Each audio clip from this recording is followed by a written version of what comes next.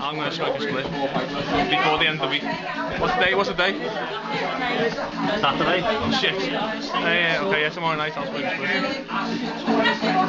Is that, is that true, Matthew? I don't believe you. No. Right, son? Yeah. What do you think of this? Matthew just said he's going to smoke a spliff by the end of the week. Claim. What do you reckon? Matthew just said that he's going to smoke a spliff by the end of the week. Not a chance. I saw him doing a line in the box before. Is it? Yeah, yeah. Uh, Matty has said that he's going to smoke a spliff by the end of the week. What do you say?